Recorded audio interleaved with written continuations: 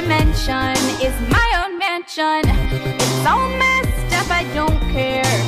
Cause what fun is there in ever making sense? Did I get lost along the way? Lose my mind for a new identity?